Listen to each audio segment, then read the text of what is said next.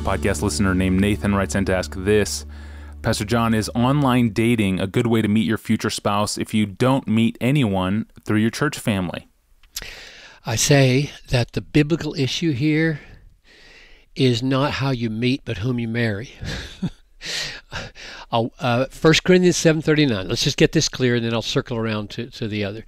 Um, a, a wife is bound to her husband as long as he lives, but if her husband dies, she is free to be married to whom she wishes only in the Lord. So a Christian is not free to marry outside the Lord. Or 2 Corinthians 6:14, do not be unequally yoked with unbelievers.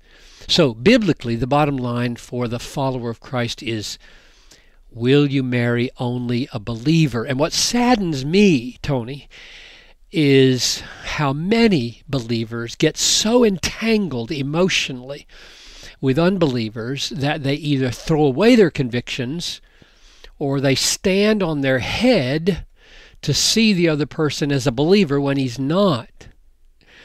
So let me make it a little more precise. A mature believer will want his or her spouse not just to profess some kind of creed or be willing to go to church.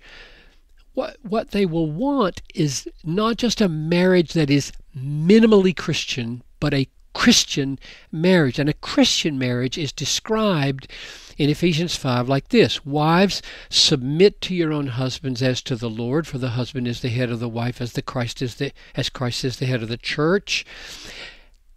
And husbands, love your wives as Christ loved the church and gave himself for her. Now, what this means is a Christian woman won't just look for a man who has a cross tattooed on his shoulder, but a man who is ready to die daily in the sacrificial calling of leading a home.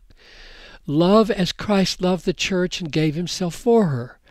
And a Christian man won't just look for a woman who wears a cross around her neck, but is willing to die as she submits to his leadership in reliance upon Christ. Both husband and wife are engaged in constant self denial as they live out the beauty of the Christian marriage. Jesus said, No one can be his disciple unless they take up their cross and follow him the Christian man or woman who wants to marry a, a follower of Jesus must look for a spouse who has learned what it is to die to self in allegiance to Jesus. Now back to the internet. He's circling around.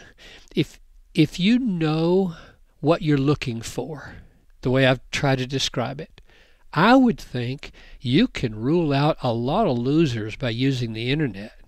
It won't take long to learn from Facebook and Twitter and blogs if this man or woman is passionate for Jesus, or if Jesus is an incidental mark on the shoulder or a trinket around the neck. Then, if contact happens, there are great questions to ask. And I wrote 50 of them down. I don't know, Tony, you might want to link to this document. I think it's at the Desiring God website. 50 questions that, that couples should ask, and, and they could be asked, you know, on the internet before you even meet the kind of things that will really reveal uh, what people are committed to. So, answer I'm fine with meeting someone online and learning as much as possible about them. I've met numerous couples recently who said they met online and they're happily married. They're both mature Christians. So I get zero problem with that. The great question is are you mature enough to discern a worthy spouse? Put your energies into becoming that kind of person. Wonderful. Thank you, Pastor John. And that resource, Questions to Ask When Preparing for Marriage, is one of our most popular resources on the website. It's now easiest to find in the ebook we created, which is titled Preparing for Marriage Help for Christian Couples. It's there. You can go to our website, desiringgod.org, click on books, and look for the title Preparing for Marriage. Another very common question we receive in the Ask Pastor John mailbox is a question over cremation. Cremation or burial? We'll hear from Pastor John tomorrow on the Ask Pastor John podcast. I'm your host, Tony Reinke. Thanks for listening.